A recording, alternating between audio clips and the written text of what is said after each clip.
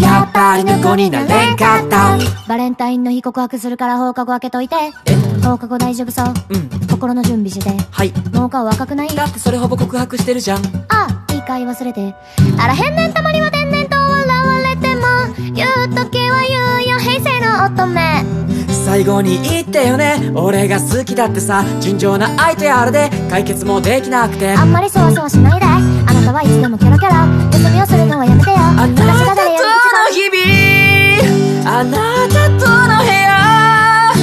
あなたとの大切なまとろみも明日からはバカみたいに愛し合ってさよなら Friday night どうに至らないものにいつまでもすがりついてる祭り祭り毎日としき何かの祭り祭りあれもこれもが終わったりあんたの山口